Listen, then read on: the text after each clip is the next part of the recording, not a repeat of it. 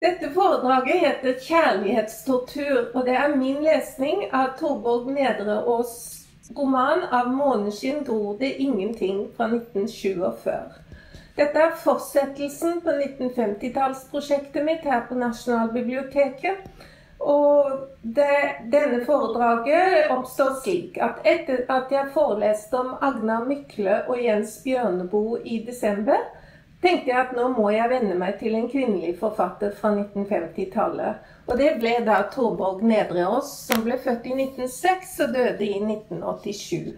Men prosjektet som ligger bak dette, er stadig det samme, nemlig å forsøke å forstå dette tiåret som formet meg, og samtidig å utvikle en måte å lese på som er både historisk og personlig. Så først litt om Torborg Nedreås. Hun debuterte i 1945 med 'Bak skapet står øksen', en novellesamling med tema fra krigen. Samme år så kom ukebladsnovellene hun hadde skrevet under krigen, også ut i bokform, og den boka het 'Før det ringer tredje gang'. I dag så tror jeg at hun er best kjent fra Herdis-bøkene, nemlig novellesamlingen 'Trylleglasset' fra 1950, romanene 'Musikk fra en blå brønn' 1960 og 'Ved neste nymåne' 1971. Men Herdis-bøkene er oppvekstromaner som er lagt til Bergen tidlig på 2000-tallet. Jeg skal ta for meg den første. Jeg mente tidlig på 1900-tallet, selvsagt. Eh, men jeg skal ta for meg den første romanen hennes, nemlig 'Av måneskinn gror det ingenting'. Og den er blitt kalt Norges første roman med abort som hovedtema. I, januar i år så begynte jeg å som jeg ofte gjør med norske bøker her i USA, med å høre på lydboken. Det gjør jeg i bilen og når jeg er ute og går i den amerikanske skogen. Men jeg oppdaget etter ca. fem minutter at denne lydboken er noe helt spesielt. For den blir lest av Gjøril Mauseth, som bruker sin egen finnmarksdialekt. Og hun leser slik at lytteren virkelig føler at romanen gir oss den navnløse hovedpersonens sjel. Dette høres kanskje litt sentimentalt ut, men romanens eksplisitte formål er jo nettopp dette å vise oss en kvinnes sjel. I rammefortellingen blir kvinnen med en navnløs mann hjem. Hun sier til ham du skal få en sjanse. Du kan få velge. Du kan få kroppen min eller sjelen min. Du kan velge. Mannen, som helst vil ha begge deler, velger likevel sjelen, altså fortellingen. Det tar åtte og en halv time å høre av måneskinn. Men det tok meg over to måneder å komme gjennom boka. Det var en pine uten like, faktisk. Noen dager orket jeg bare fem minutter før jeg måtte slå av appen. Noen ganger måtte jeg ta en pause på flere uker før jeg klarte å fortsette. For slik Gjøril Mauseth formidler teksten, vakte romanen ulidelig smerte i min egen sjel. Eller snarere, da jeg begynte å tenke etter, vakte den en blanding av smerte, medlidenhet, sinne, angst og frustrasjon. Og siden har jeg strevd med spørsmålet om hvorfor jeg reagerte så dypt på denne boka. Hva er det med 'Av måneskinn gror det ingenting' som er så smertefullt for meg, et jentebarn født på 50-tallet? Og hva forteller boka meg om Norge og norsk tenkesett i etterkrigstida? Så først litt om romanen. Den har en dobbel rammefortelling.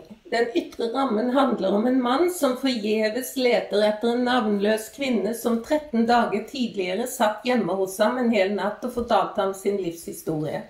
Den indre rammen handler om denne natten da hun sitter og forteller. Gjennom hele romanen bryter denne rammen regelmessig inn i kvinnens fortelling. Dermed så får vi en fort, fortløpende visuell beskrivelse av kvinnen, og også informasjon om hvordan denne mannen svarer på fortellingen. Um, responsen hans blir dermed bruksanvisning for leserens respons. Selv ble jeg slått av at fortelleren først tror kvinnen er pur ung, bare rundt 19-20 år gammel. Etter hvert som hun kommer mer inn i lyset, tror han at hun må være nærmere 30 år før hun til slutt forteller at hun faktisk er 38. Virkningen er å understreke, tror jeg, det vanlige, nesten uskyldsrene ved denne kvinnen, som ifølge den borgerlige moral er alt annet enn uskyldig. Fordi hun virker så ung, øker leserens medfølelse med henne, for, for vi får også vite at nettopp den dagen har legen gitt henne dødsdommen. Hun skal dø av kreft, en sykdom hun tror hun kanskje har provosert fram ved de farlige abortene hun har gjennomgått. En effekt av denne rammekonstruksjonen er at kvinnens ord rent teknisk sett formidles av mannens stemme.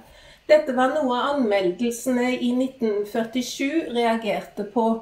Pål Brekke i Samtiden likte ikke den dobbelte jeg-formen. Det gjorde ikke Philip Houm i Dagbladet, Inger Hagerup i Friheten eller Barbara Ring i Nasjonen heller.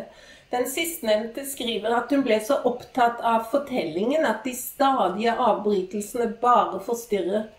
Men Nedreås skriver slik at vi glemmer at det faktisk er mannen som gjenforteller historien. For leserne som for den lyttende mannen blir fortellingens jeg kvinnens jeg, noe som går klart fram både av NRKs fjernsynsserie fra 1987 og Mausets lydbok. De eh, iscenesettelsene tar helt for gitt at det er kvinnen som forteller. Og denne fortellerstilen hennes er lyrisk og modernistisk. Hun forteller sin historie stykkevis og delt med mange avbrudd og ikke i strikt kronologisk rekkefølge. Som forteller har hun en særpreget poetisk stemme. Som karakter i sin egen fortelling er hun derimot nesten stum, og det skal jeg si mer om siden. Fortellersituasjonen er altså ikke spesielt realistisk, men det er derimot stedet, altså settingen for denne historien. Handlingen er tydelig lagt til Stord. Den lille byen er Lærvik. Stedet som heter Gruben i romanen, var Gruo på Litlabø, der det i dag finnes et gruvemuseum. Alt i 1864 begynte de faktisk å utvinne svovelkis på Stord. Og de drev stordrift i grua helt fram til 1968. Et sted sier hovedpersonen nokså bittert at Johannes tok for gitt at hun skulle gå tilbake igjen de seks kilometerne i nattemørket og regnet uten så mye som et kjærtegn. Realismen her er intens, for det er faktisk seks kilometer fra Lærvik sentrum til Grua på Litlabø. Størsteparten av historien fokuserer på året da hovedpersonen var 17-18 år gammel. Av fortellingen framgår det at dette må være forholdsvis snart etter første verdenskrig, kanskje en gang tidlig på 1920-tallet. Rammefortellingen foregår 20 år senere, men det finnes ingen referanse til annen verdenskrig i teksten. Så det er nok om bakgrunnen, tenker jeg. Så Da skal jeg først si noe om kjærlighetsmyten i dette foredraget. Og husk at jeg kalte foredraget 'Kjærlighetstortur', for det er slik jeg har opplevd denne romanen. Altså, Hovedhandlingen er kvinnens forhold til sin tidligere, tidligere lærer på realskolen, som heter Johannes. Kvinnen har alltid likt å lese og gikk ut av realskolen med beste karakter. Moren hadde villet at hun skulle begynne å jobbe etter folkeskolen, men faren oppmuntret henne til å ta realskolen, og ofret mye for at hun skulle ha råd til det. Men der forelsker hun seg altså i læreren. Mange jenter gjør jo det. Men, sier kvinnen, vi som er trofaste i bunn og grunn, vi bygger videre på barnesvermeriet. Dette er kjærlighet. Kjærligheten kan ikke forklares. Den er bare der. Mannen som kommer, han har vært der hele tiden, sier kvinnen. Premissene for dette forholdet blir klart allerede ved det første kjærlighetsmøtet mellom dem. Et samleie i skogen der kvinnen bare er 17 år gammel. NRKs filmversjon med Anne Krigsvold og Per Frisch i hovedrollene får dette veldig fint fram. Når scenen etter eh, scenen i skogen skifter til rammefortellingen, sier kvinnen til mannen som lytter til henne, og, som, eh, og også dermed sier hun det til oss, det var som å få et slag i ansiktet. Men det sier hun aldri til Johannes. Så nå skal vi se på den scenen. Dette er den lengste scenen jeg har med i foredraget, men den setter altså premissene for hele forholdet.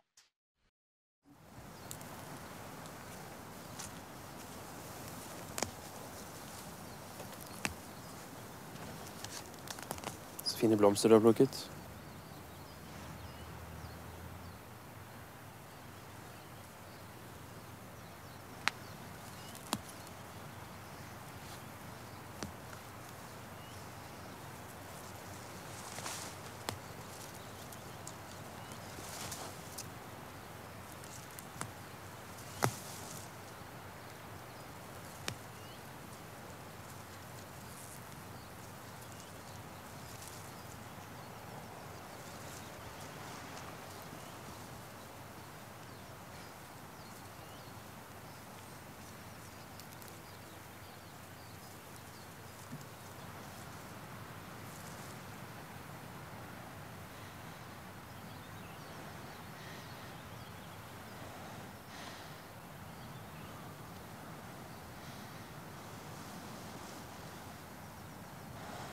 Elsker deg.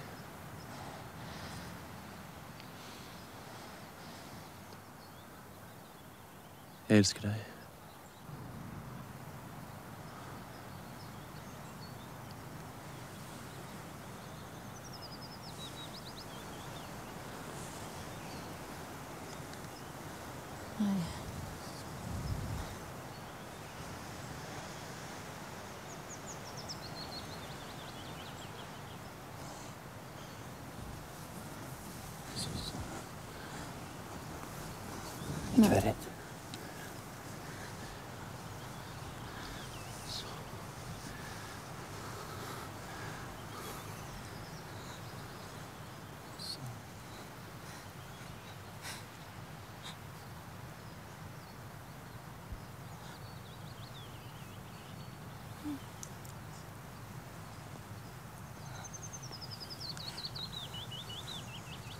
Nei.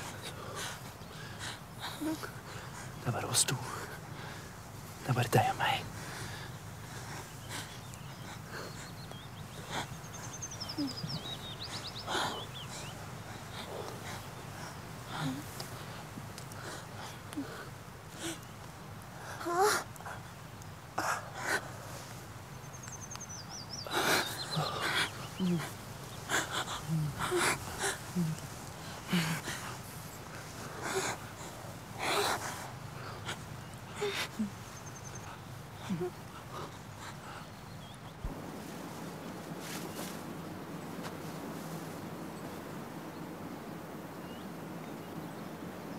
Får her en stund.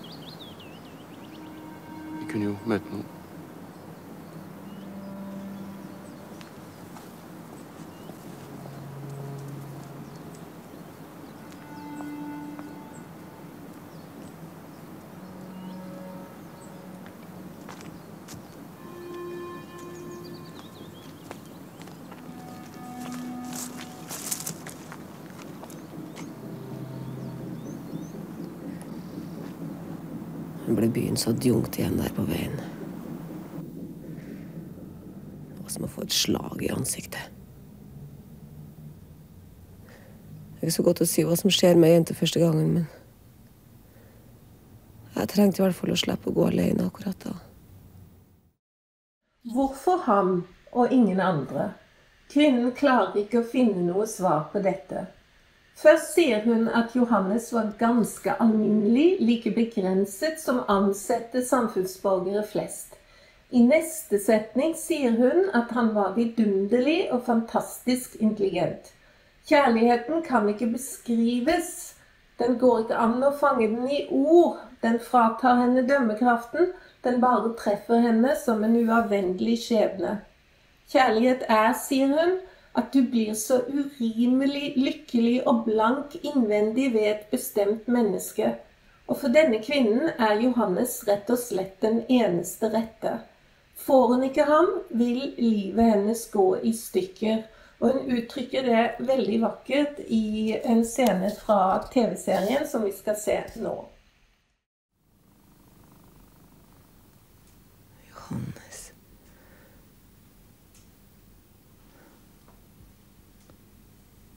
Johannes. Det er ingen uten Johannes som har fått min sjel til å blomstre. Og tenk deg drysset av stjerna i meg. Slik den fremstår i Av måneskinn, er kjærligheten for kvinner uavvendelig skjebne hinsides fornuften. Ingen av romanens menn ser ut til å lide av kjærligheten på denne måten. Dermed blir romanen en ny versjon av den gamle romantiske kjærlighetsmyten slik den er blitt servert til kvinner i den vestlige verden de siste par hundre år. For kvinnen, men ikke mannen, er kjærlighet selve skjebnen. Som lord Byron en gang spissformulerte denne myten. Man's love is a man's life apart. It is a woman's whole existence. Altså, for en mann er kjærligheten en del av livet, men den er kvinnens hele eksistens. Jeg får inntrykk av at romanen vil at vi skal beundre denne kvinnen for hennes trofasthet og kjærlighetsevne, uansett hvor selvdestruktiv den er. Men det viktigste for Nedreås er å vise at kjærligheten er kroppslig, og at kroppen alltid inngår i et klassesamfunn. Dermed blir denne kjærlighetsromanen også til en grufull abortroman.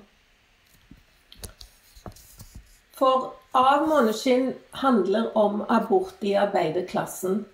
Romanen er full av scener der kvinner vrir seg i smerte og blør og blør og blør. Moren har flere aborter. Søsteren tar abort. Hovedpersonen gjør det selv flere ganger. Alle abortene er selvsagt ulovlige og medisinsk helt uforsvarlige i den forstand at de foretas med strikkepinner og det som verre er. Noen deler av romanen framstår som den svarteste naturalisme, Uansett hva de gjør, er arbeiderklassens kvinner dømt til blod, slim og smerte. Um, organisten Mork, som er hovedpersonens eneste venn, hans kjæreste døde av sitt abortforsøk. Det hele topper seg i den avsluttende beskrivelsen av fortellerens egen strikkepinneabort. Den er vondefull å lese, og jeg skal i hvert fall ikke sitere den her. Skammen ved å bli ugift mor er så intens, og fattigdommen og slitet så stort for gifte arbeiderkvinner at kvinner drives til å ta abort uansett hvor gjerne de vil ha barnet. Men samtidig straffer samfunnet abort med fengsel. I 1947 var Nedreås medlem av NKP, altså Norges kommunistiske parti, og abortsynet av måneskinn er stort sett i pakt med partilinja.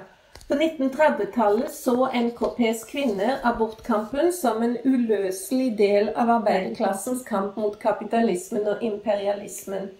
Alt i 1928 skrev Dagmar Eilert, sentralstyremedlem i NKP og selv ugift mor, en slående artikkel om en urettferdig fosterfordrivelsesdom som endte med oppmaningen 'Vekk med paragraf 245! Dø over det kapitalistiske samfunnet', skriver Dagmar Eilert. Og straffelovens paragraf 245 var altså den som gjorde abort straffbart både for kvinnen og de som hjalp henne. Klassesamfunnet tvinger arbeiderklassens kvinner til abort, og problemet vil ikke bli løst før kapitalismen er avskaffet, var NKPs kvinners syn. Og det overensstemmer i stor grad med det som framgår av romanen. For de kommunistiske kvinnene var abortsaken altså et klasseproblem og ikke et generelt kvinneproblem. Og dette var et forståelig syn.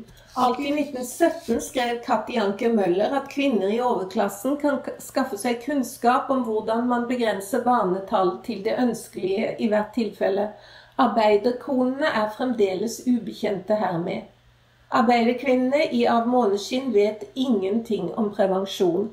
Selv om Mork forteller hovedpersonen hvem det var som motarbeidet opplysning om barnebegrensning, har hun slett ikke mot og krefter til å finne ut mer om emnet. Realskolelæreren Johannes ser også ut til å være fullstendig uvitende om prevensjon. Dermed blir ungjenta gravid to ganger på ett år. Likevel må opplysning ha vært tilgjengelig, for når øh, hun, kvinnen gifter seg noen år senere, får hun ikke barn fordi mannen ville vente med det. Altså må de ha visst hvordan de skulle ha ventet med det. Fordi det ikke finnes prevensjon i denne romanens hovedhandling, framtrer forholdet mellom kjærlighet og forplantning som naturlig, direkte, intenst og fatalt. Nedbrås legger ikke skjul på sitt politiske og sosiale program. Arbeiderklassens kvinner drives til abort av skam og nød. Og viktigst av alt, ethvert barn skal ha rett til å bli født. Vi må få et samfunn som har bruk for kraften og evnene og livsgleden til hver eneste liten menneskeunge som finner på å ville inn i denne verden, sier organisten Mork. For å få dette til må vi forbedre levekårene for arbeiderklassen og bekjempe den trangsynte og småskårne lutherske moralen. Scenen der hovedpersonen aborterer mens hun sitter forkommen i kirken under gudstjenesten og lytter til Morks orgelspill for siste gang før han går hjem og dreper seg, er selvsagt ekstremt melodramatisk, men den er også en effektiv metafor for disse temaene. Men denne romanens abortsyn er ikke det samme som kvinnebevegelsen kom til å stå for for 25 år seinere. På 1970-tallet snakket vi om kvinners rett til selv å bestemme om, over sin egen kropp. Men denne type kvinnefrihet er ikke et tema i romanen. Selv om Nedreås på 1970-tallet stilte opp for retten til selvbestemt abort, sa hun ærlig at hun fremdeles var ambivalent. Og nå siterer jeg et intervju hun ga rundt 1975. Vel, sier hun, i Av måneskinn tar jeg ikke stilling for eller imot selvbestemt abort, selv om jeg i dag går sammen med dem som er for. For det er jo også en bok om barnets rett til å bli født. Forstår du hvor delt jeg er? Jeg tenker f.eks. på at hvis det hadde vært selvbestemt abort for 68 år siden da mor skulle ha meg, ja, da hadde jeg ikke sittet her da. Det er forskjell på å være for kvinners rett til å bære fram alle sine barn i gode og trygge levekår, og kvinners rett til selv å bestemme over sine reproduktive valg. Det første er selvsagt en forbedring på den situasjonen som en ser i romanen. Men det er også fullstendig forenlig med alskens religiøse og patriarkalske og pronatalistiske holdninger. Bare det siste handler om frigjøring. Som nåtidig leser av, av 'Måneskinn' ble jeg slått av Nedre Åses idealiserende, nesten romantiske oppfatning av svangerskap og graviditet. Hun insisterer på at kvinner som elsker, fylles av en naturlig lengsel etter å få barn. Den irrasjonelle kjærligheten streber etter å skape nytt liv. Etter fem lykkelige dager på kjærlighetsferie med Johannes får kvinnen ta på søsterens gravide kropp. Og så sier hun jeg kjente det levde i henne, det levde inni maven på henne. Og siden kjente jeg meg så ensom og ja, det var så merkelig, for det var ingenting som levde i meg. Jeg elsket, jeg var lykkelig, men det var bare kroppen min og ingenting i den. I en artikkel om denne romanen som snart kommer ut, viser Frode Lerum Boasson at Nedreås i denne romanen faktisk fremstår som en vitalist på venstresiden. Dvs. Si at hun fremstiller det hun kaller livet som en slags uforklarlig kraft som kveles av en livsfiendtlig samfunnsutvikling. Og det tror jeg han er veldig rett i. Særlig fordi Boassons tese styrkes av ukebladsnovellen 'Den sterkeste', som kom ut i samlingen før det ringer tredje gang i 1945. Der er det faktisk veldig mange paralleller med graviditeten i uh, romanen jeg snakker om. Og der har vi også et eksempel på en kvinne som forsøker å hoppe og springe og ta varme bad og løfte tungt osv. for å bli kvitt graviditeten. Til slutt så vil hun drukne seg i sjøen. Men når hun sitter ved eh, brygga og alt har bena i vannet, så kjenner denne kvinnen i novellen det. Hun var ikke alene, står det. Det rørte på seg noe inni henne. Et bløtt og kraftig rykk. Det levet, det var levende liv inni henne. Så klatrer denne hushjelpen opp fra bryggekanten, klamrer hendene omkring magen og går hjem og legger seg. Det abstrakte livet har hevdet sin rest.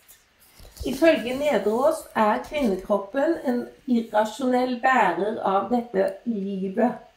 Enhver konflikt omkring graviditet skyldes ytre samfunnsmessige forhold. Samfunnet kan forbedres, men kjærligheten og forplantningsønsket ser ut til å være naturgitt og kan aldri endres.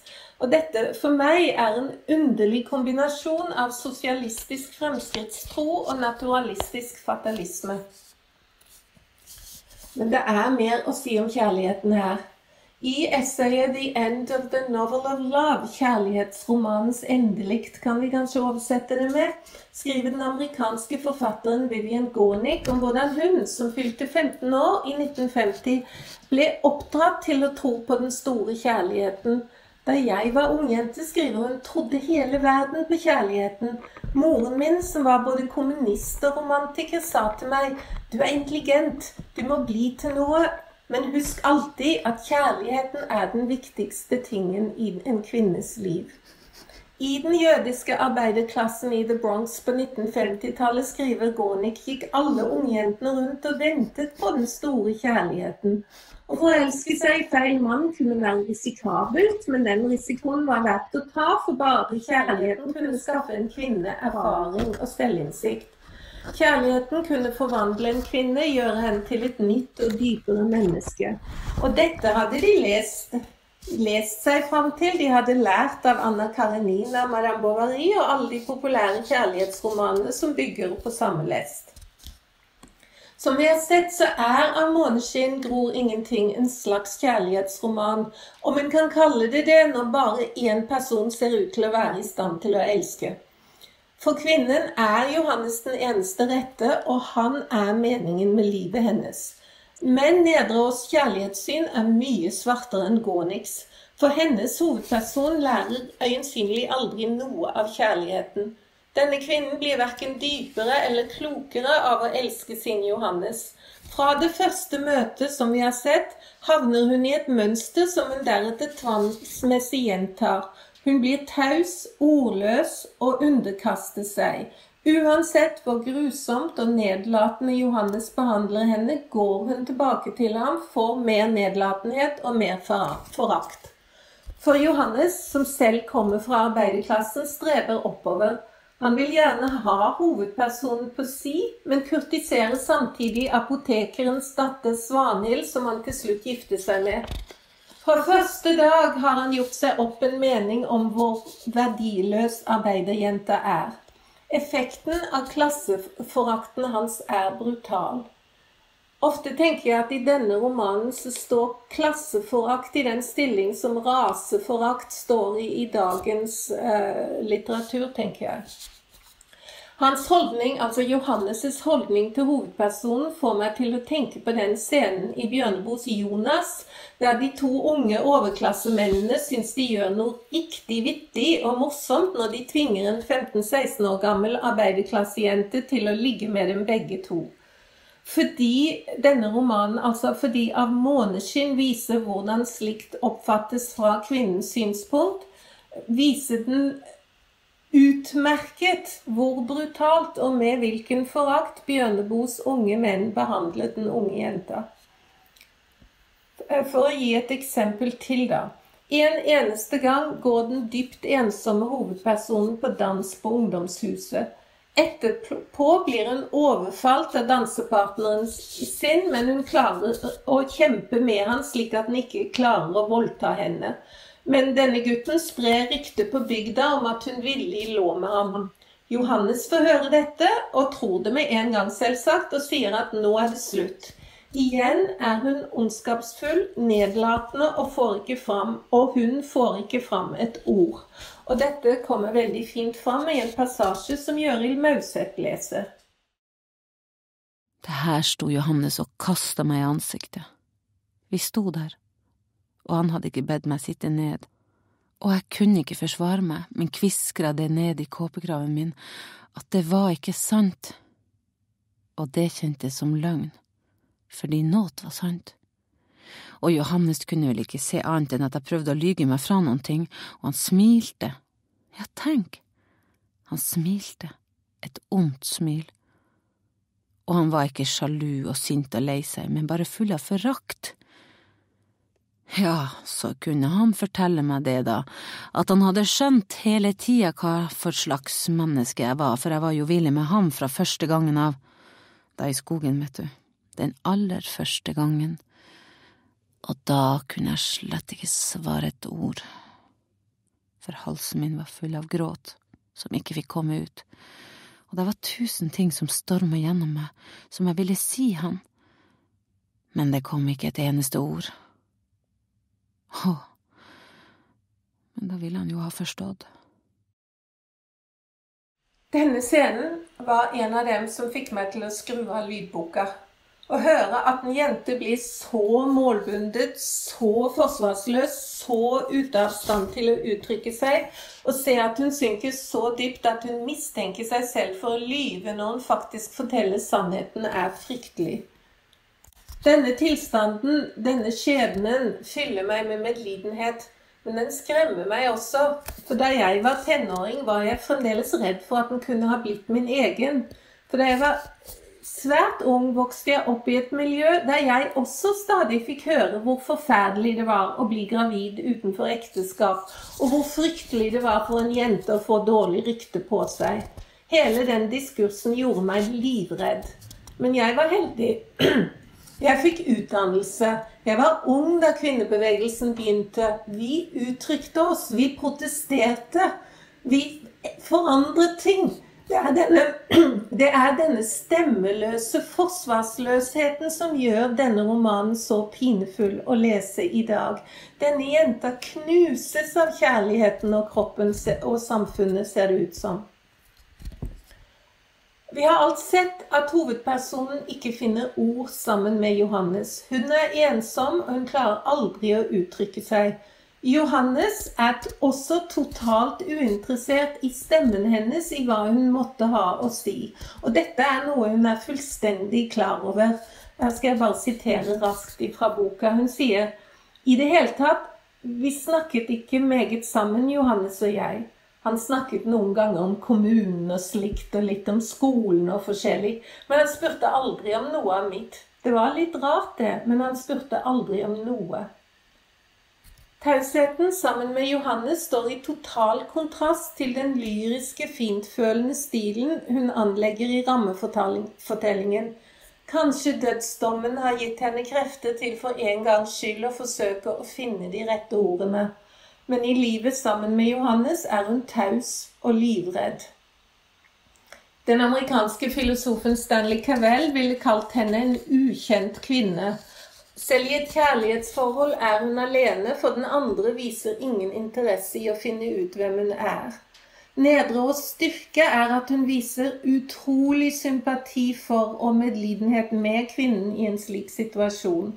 Men hennes svakhet er at hun mer enn impliserer at det i tillegg til klassebakgrunnen nettopp er den fatale kjærligheten og kvinnekroppen som bærer av det abstrakte livet som gjør det så umulig for kvinner å komme seg ut av elendige parforhold.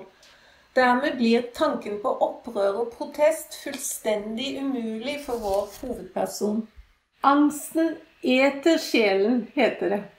Og i scene etter scene er hovedpersonen livredd. Livredd for å miste Johannes. Livredd for at han skal bli sint. Dermed tør hun ikke å si noe som helst. TV-serien viser fint i scene etter scene hvordan hovedpersonen blir språkløs av denne angsten.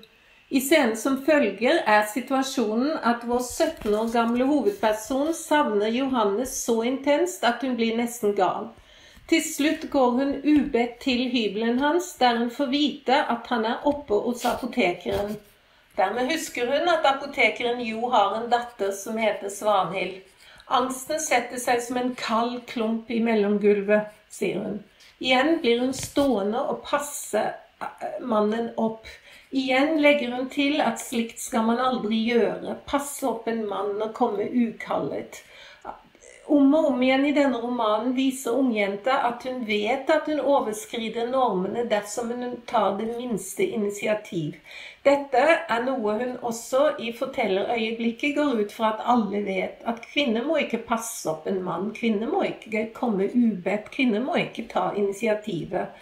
Og her kommer da dette klippet fra TV-serien som viser nøyaktig hvor vondt det er for personen å si noe som helst. Altså Situasjonen er at hun tror han har en annen jente. Han har vært oppe hos Svanhild, men hun klarer ikke engang å få sagt det. Og her er klippet. Hva er det du vil? Hva er det du vil?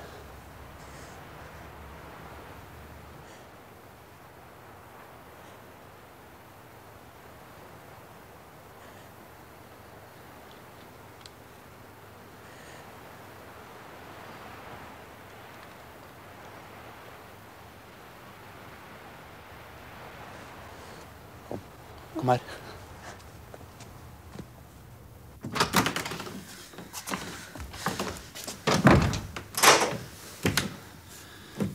Er det med deg? Er det noe galt? Hva? Kom. Kom her.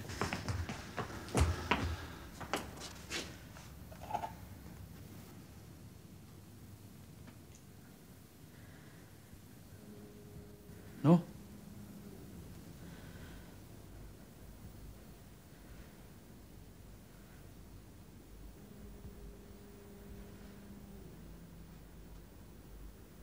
Men så svar, da!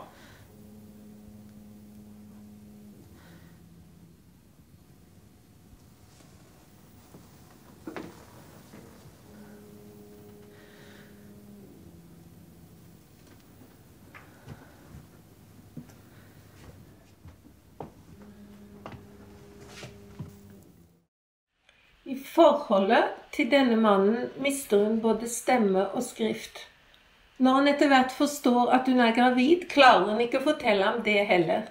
Hun skriver eller sier 'Jeg måtte gå til Johannes, måtte snakke med ham', men da jeg sto foran døren, fikk jeg det ikke til. Skrive noe brev kunne jeg ikke, jeg er så lite flink til å skrive. Dette er underlig, for dette er jenta som mindre enn ett år tidligere faktisk innledet sin første samtale med Johannes med å diskutere språket i et engelsk dikt som hun hadde tenkt å oversette for å tjene noen slante på. Og etter ett år av dette kjærlighetsforholdet så kan hun ikke engang skrive brev, ser det ut som. Men til slutt går hun da til ham. Hun vil si det rett fram. Johannes, vil hun si, jeg skal ha et barn. Men nei, ikke et ord. Akkurat som stemmen og munnen ikke var i stand til å oppfatte denne ordren fra hjernen, skriver hun. Hun sier ingenting. Hun står da der i gangen, og så begynner Johannes å fortelle henne hvor pen hun er her. Da sier hun Og jeg lot ham ta av meg kåpen og tenkte at nå må jeg si det. Nå sier jeg det. Men jeg sa ingenting. Og da han snørte av meg støvlene, sa jeg heller ingenting. Og alt det som jeg ikke kunne si, gjorde kroppen min til en ulykke av villskap da han tok meg inntil seg. Etterpå begynner Johannes å forklare henne at hun må forstå at hun må være mer forsiktig. Hun kan ikke komme ubedt, for hun hadde jo dårlige ord på seg. Og, hun, og han var jo lærer på realskolen osv. Han snakker og snakker og snakker og ser ikke på henne. Og da kler hun på seg og vil gå uten å få sagt at hun er gravid. Da hun står der påkledd og klar til å gå, så blir hun slått aldeles ned av en gråt hun ikke kunne rå med. Og så fortsetter scenen slik i Gjøril Mauseths versjon.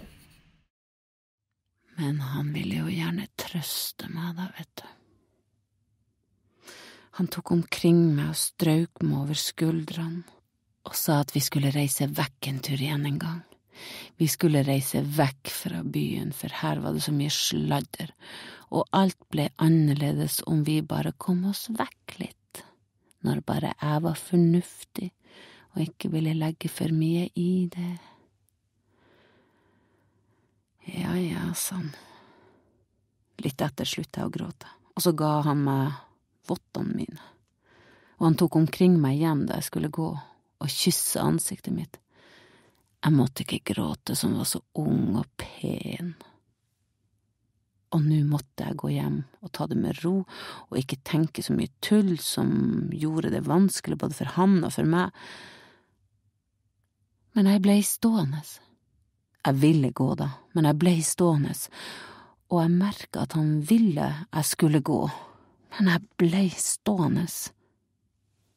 Han så på meg, han ante vel noen ting han spurte om det var noe spesielt, og jeg ble stående, og jeg kunne ikke si noen ting.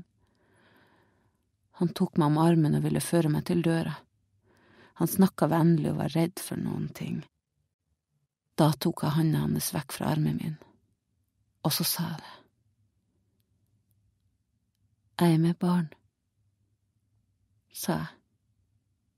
Ingenting av det jeg hadde forberedt på at jeg skulle si, bare det her.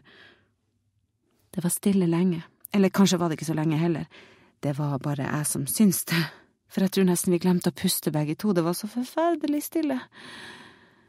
Alt det som hendte da, kan jeg ikke fortelle sammenhengende. Han sa jeg løy, han sa jeg hadde funnet på det her for å få tak på ham, men det skulle ikke lykkes med. Han kalte meg for stygge ting, ord jeg ikke kan gjengi, han var fra seg Hvis det var penger jeg ville presse av ham, så kunne jeg flå han om jeg ville, han hadde ikke så mye. Jeg sto der jeg sto, jeg husker det var svært rolig inni meg, ei ond ro. Det ene øyeblikket ba han meg pakke og forsvinne, det neste om at jeg skulle sitte ned så vi kunne snakke rolig om det her. Jeg sto aldeles stille.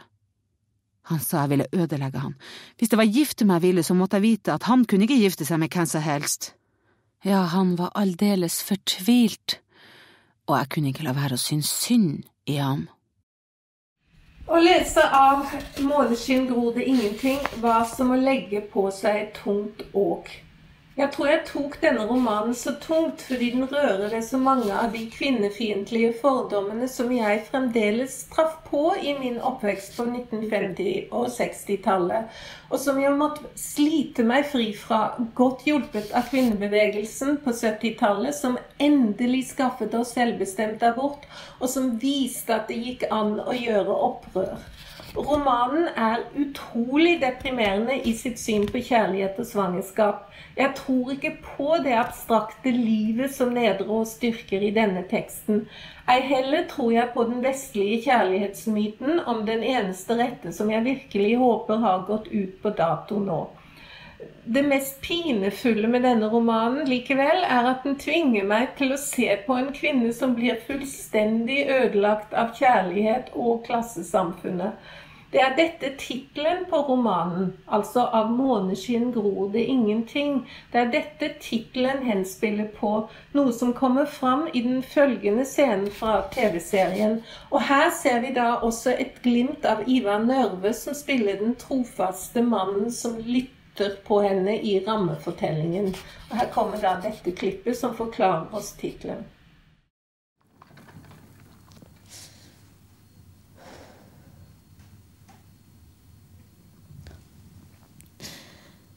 Vet du hva en mann sa til meg en gang? Nå springer tankene mine. Han sa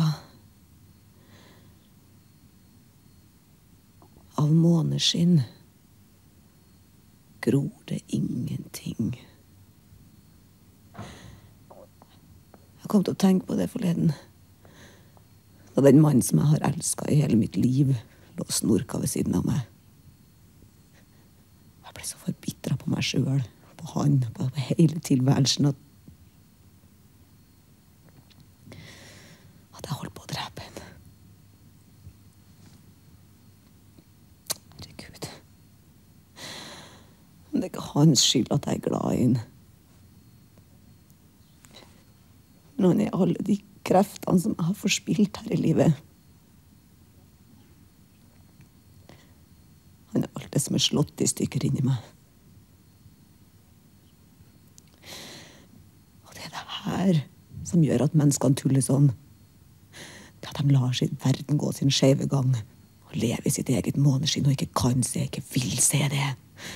At måneskinnet bare er et kaldt refleks av sollyset.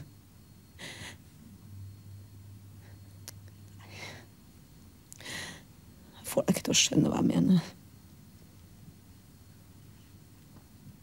Men når den natta er over, da vil du forstå.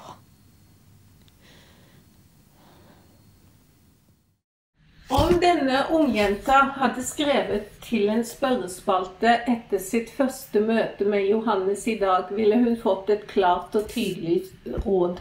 Dropp ham. Finn deg en mann, eller en kvinne om du heller vil, som behandler deg både med begjær, respekt og interesse. Kom deg unna i tide. Men slike råd er bare mulig i et samfunn der en forutsetter at kvinner har både frihet og selvfølelse. At kvinner forstår at de fortjener noe bedre. Har En slik selvfølelse og en slik frihet har Nedreås hovedperson aldri hatt noen sjanse til å utvikle. Så jeg led meg gjennom Av måneskinn gror det ingenting. Jeg oppfattet den som tung, deprimerende og naturalistisk. Klasse, kvinnekropp og kjærlighet rotter seg sammen og blir til uavvendelig skjebne. Men nå som jeg faktisk endelig er ferdig med romanen, er jeg glad for at jeg kjempet meg gjennom den. Det, det, er viktig å forstå hvordan klasse og kjønn fungerte til å holde kvinner nede i mange, mange 100 år, faktisk. Romanen fyller meg faktisk med takknemlighet. Jeg er glad for at Torborg Nedreås viser oss hvor avgjørende adgang til prevensjon og abort er for kvinners frihet. Etter å ha lest denne romanen, så skjønner jeg enda bedre enn før hvor langt norske kvinner har kommet på 70 år. Og jeg, Når jeg leser den i dag, så blir jeg faktisk takknemlig. Og dermed skal jeg slutte med å si noe jeg aldri trodde jeg ville ha sagt, nemlig takk og lov for sosialdemokratiet. Og takk og lov selvsagt også for kvinnebevegelsen. Takk skal dere ha.